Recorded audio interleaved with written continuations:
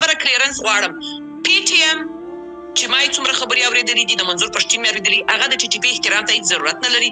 په مسلحانه مبارزه نور باور نه لري پی ټي ایم وایي چې موږ د افغان په خاوره کې نور د یوه انسان وژنه هم نوره نه سو زغملای دریم ټي ټي پي د پاکستان ضد مبارزه نه کوي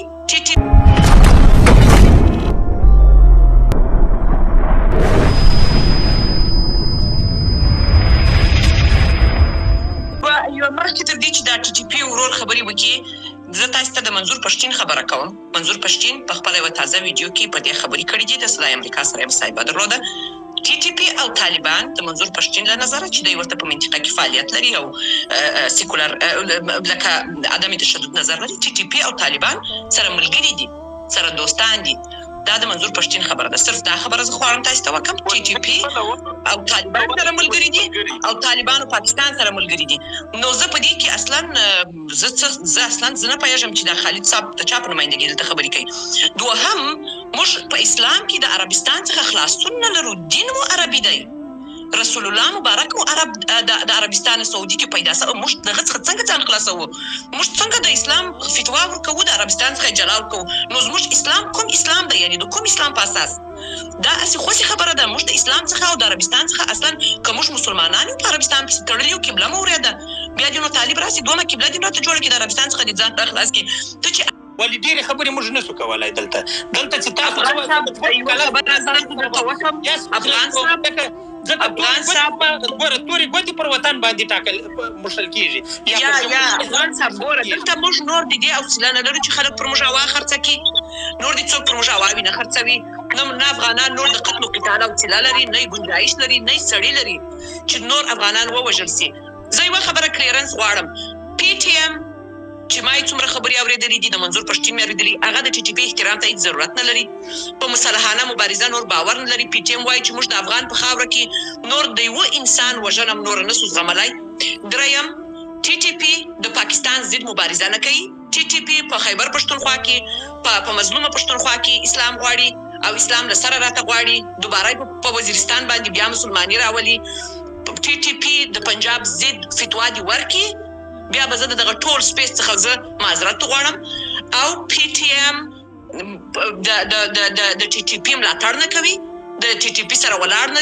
د پښتون تحفظ موومېنټ د پښتون تحفظ حرکت نور دغه درې خبرې ما غوښتلې او ټي ټي پي دی و فتوا ورکړي د پنجاب پر ضد د جهاد اعلان کړي بیا زه وګورم چې کوم افغان د دوی تر شا نه درېږي خو ټي ټي پي دی دلته نه راځي پر موږ دی اواوي نه خرڅوي نور موږ یو وار د طالب په نوم قتل یار د مجاهد په نوم قتل کړو بیا مو د طالب په نوم قتل کړو اوس یې بیا دغه درېیمه پروژه راته راټاکلې ده د ټي جي پي په نامه نه موږ فتوا د اسلام آباد څخه غواړو د فتوا مرکز چې جوړیږي هغه ځان ته اصول لري ځان ته قوانین لري ځان ته شرایط لري هغه څوک داسې نسي کولای چې د غوښې یوه ګوله د راواخله د اسلام آباد څخه راوړه په کابل کې واچوه دا خوسي اوایي خبرې دي خالد صاحب زه تاته احترام لرم اما دغه نظریات دي اوایي دي په افغانانو باندې نور د هوا خرڅولو هیڅ ګنجایش نسته قتل سو په رقم رقم مو قتل سو نور موږ دغه خبری ته اجازه لا مه ورکوه افغان صاحب تاته هره خبره معلومه ده مننه. جلال سمن زه یو مختصر سوال لرم. لري مديري صاحب تاسو کوم پوښتنه لري بیا به او عزیز صاحب زه ډیر په بخنه سره زه وار اخلم خو زه ډیر وخت په سپیکر نشم پاتې کېدل نو دغه د ډیره وخت مې دغه باس اورېده ډیر په زړه پورې ویناوالو خبرې وکړلې ډیر معلوماتي وي ډیر ژورې وي یو سوال مې په ذهن کې دغه راپور شه که تاسو دغه تنګ چي دی عزیز صاحب او میرویس صاحب که تاسو دغه سوال د زما په خاطر وکړی څوک چي ځان ته د طالبانو نماینده یا پاکستانی طالب وایی دی یو دعوه وکړله چي دی پلانونه لری چي په ایران کي اسلامی شریعت قایم کړي په سعودی باندی قایم کړي په پاکستان باندی د اختر وروسته د حملو پلانونه لری نو دا کوم اوس چې واکمني ده په افغانستان کې د کومو خلکو د طالبانو ده چې اسلامي امارت وایي د دې مشرانو محترم ملا حسن اخون او نور خدا ویلي دي څو ځله دا د مجاهد صاحب په ګډون چې د قطر د لوزنامې لاندې د افغانستان خاور به د چا خلاف نه استعمالېږي او دغه د نړیوال تړون برخه ده نو آیا د د طالبانو د افغان طالبانو د دریځ سره په دې کې سلا ده که دوی د هغو نه په غلا د افغانستان خاوره استعمالول غواړي د ایران، سعودي او پاکستان خلاف او که نه دا دغه مشران دی فکر کوي چې دا دروغجن دي یا دروغ وايي.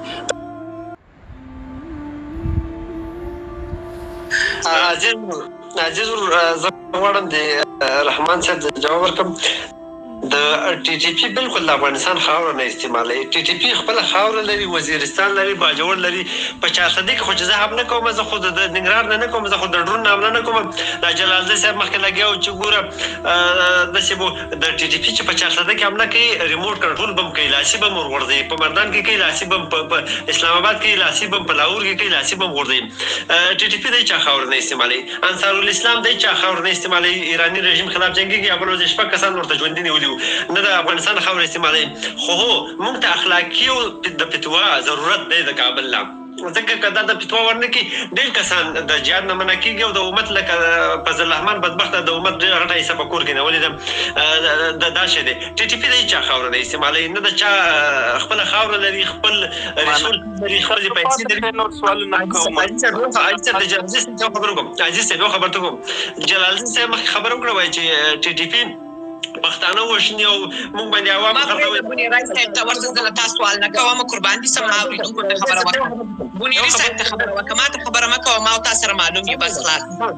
وره دا پنځوس کاله چې وژل شوی والله سل کاله به نور وژل کېږي خو چې دا سوچ بدل نه کړي سوچ بدلول دي د د ګوره په نولس سوه یو او پنځه شپېته کې هم دغه د افغانانو دغه د جلالزۍ سوچونه وو چې موږ د پاکستان سره څه مشکل لرو او دا مرتد رژیم به نه چپه کوو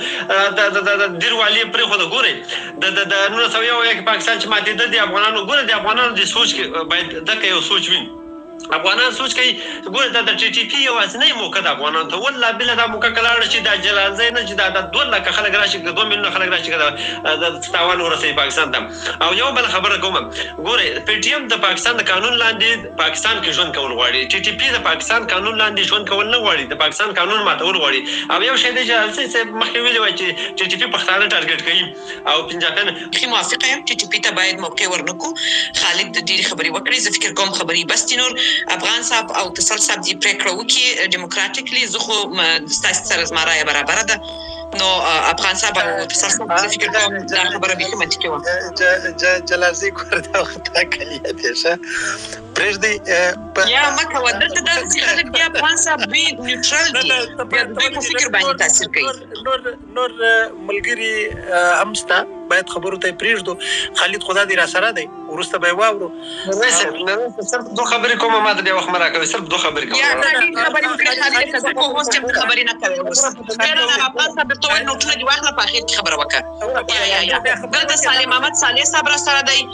سپین تڼی صاحب پر سره دی جنرال صاحب فرید را سره دی دوی به خبرې وکړي تاسو څنګه جمهوریت خواه یاست چې یو جمهوري کس ته یو چا ته وخت نه ورکوي دا خو دا وخت خو دې ډېر واخیستی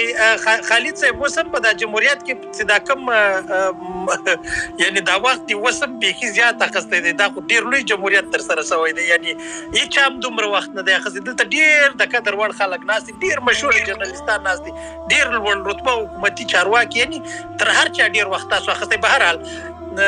و جنرال صاحب لاس مخکې پورته کړی وو زه صرف دغه د دې خونې ټولو عزیزانو ته زه دا غواړم یادونه وکم چې په دغه ورځ باندې په 2013 کال کې په کابل کې د خبريالانو باندې وحشتناک حمله وسو چې په هغه کې زموږ درې ډیر عزیز همکاران شهیدان سول سباوون کاکړ محرم دراني او زموږ یو بل ډیر ګران همکار حنان حبیبزی او د دوی سره ډیر نور ژورنالیستان شهیدان شول نو کله چې موږ دغه سي افراطي او تشدد پسند ډلو پر ضد باندې اقدام کوو او دوی خبرو ته نه پروژو تاسو پوسي چې موږ د کم مایک څخه خبرې کوو په دغه لار کې زموږ د دوستانو وینه توسوي ده